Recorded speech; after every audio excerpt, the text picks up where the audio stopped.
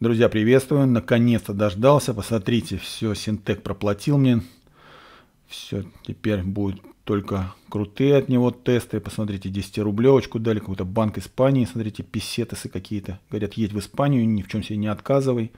Тут еще рубли, какие-то копейки. Вообще круто. Посмотрите, просто засыпали деньгами. Спасибо, Синтек. Вообще все, все четко. Просил еще какую-нибудь бумажку мне докинуть, но они говорят, другому блогеру отдали, какому-то лосю. Ну, ладно, бог с ним. Так, сейчас от Ильи из Челябинска у нас будет обзор лампочки. Так. А, нет, не лампочки. Обзор будет э, баночек для анализов. Так, вот так. Здесь какая-то гуманитарная катастрофа. Ладно, отложим. И письмо. Так, кто умеет читать, прочитайте, кому это письмо. Ну, вроде не мне, кому-то из зрителей. Ну, в итоге в комментариях напишите, кому письмо и о чем оно вообще. Так, вот такие баночки для анализов, для мочи это. Так, смотрите, распаковал, подписал. Посмотрите, э, правая маленькая баночка, это у нас Синтек Platinum 540, полнозольный, на китайском предположительно пакете. А слева у нас C23 Синтек Platinum 530 среднезольный. И посмотрите, разница в цвете. То есть здесь однозначно пакет какой-то приличный. Я думаю, что это еще автоновское, хотя масло произведено в апреле. Уже после э, всем известных событий. Возможно, у китайцев нет этого пакета или был у Синте какой-то запас. Но тем не менее. Так, первым делом создаю эталон. Вот такая спектрограмма. Ну, эстеров здесь нет практически. Такой уровень. Этот уровень гарантия того, что значения будут реальные. Э, так, выбираю масло, позиции, по которым будет анализироваться, лимиты. И смотрите, что намерил прибор противоизносных э, присадок 90%. Ну, нормально для C3, для среднезольника. Выставляю это как 100% этот уровень. И перейдем к кислотному щелочному кислотное прибор намерил 1.45, эстеров нет, очень правдоподобное.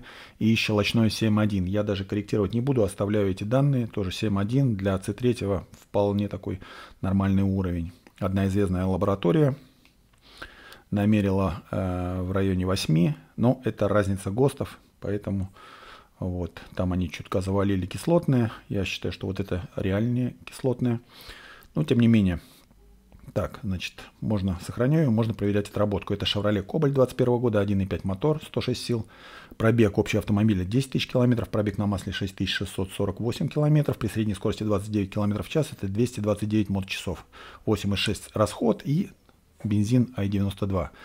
Так, противоизносных присадок у нас 64%, гликолит 3,1, но э, Илья написал, что здесь у него много было казахского бензина. Он славится тем, что дает гликоль. Скорее всего, там какие-то спирты добавляют они.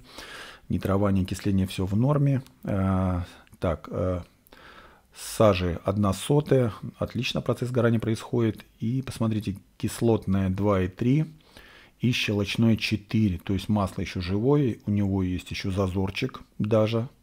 Неплохо. 230 моточасов для C3 в бензине. Совсем не дурно. Так, ну, чуть-чуть больше, чем а, в свежем воды. Так, значит, сохраняю. Сейчас покажу вам, что произошло с вязкостью у данного образца в данном автомобиле. Ну, здесь, видите, автомобиль совсем свежий. Возможно, еще даже обкатка не, не, не, не совсем до конца прошла. Но, тем не менее. Так, я замечал, что чем свежий автомобиль, чем лучше он и идеальнее работает, тем дольше держится масло. Так, разжижение есть примерно на треть, 32% из 100. Но, в принципе, тут такое не чисто, конечно, город. Вот, но город с небольшим трасс, небольшой трассой 29, все-таки средняя скорость ближе уже к смешанному режиму. Да, не забывайте отметить видео, э, подписывайтесь, кто не подписался, нажимайте колокольчик, так вы не пропустите уведомления. И традиционный оценка ресурса масла 9,5 тысяч в данном автомобиле в данных условиях эксплуатации 329 моточасов. Отличный результат для C3. Мотор работает исправно. Кстати, вот по оксидам азота я уже замечал в бензине, если эти значения от 400 до 500, это ну, как бы нормальные показатели. В бензине, я подчеркиваю, здесь практически, видите, ближе к 500. Ну и чуть э, разжижено. Не знаю, может я ошибаюсь, конечно, но мне кажется, в обкаточном режиме может быть больше попадает все-таки топливо. Чуть-чуть больше топлива в масло попадает, поэтому и чуть выше разжижение. Потому что для 29 км в час э, чуть-чуть э, многовато тут, мне кажется, топливо попало. Но тем не менее масло, конечно, прекрасно отработало. Вот вам, вот вам и Синтек. Не зря он мне заплатил вот эти красивые деньги. Ну вот. Результат отличный, на мой взгляд, за эту стоимость. Вообще супер. Но, скорее всего, это уже э, рецептура будет не актуальная в дальнейшем. Скорее всего, или закончится. Хотя, может быть, Синтек наладит какой-то параллельный завоз пакетов от Автона. Вот. Но я все-таки думаю, что этот образец в дальнейшем станет тоже более светлый. Больше похож на,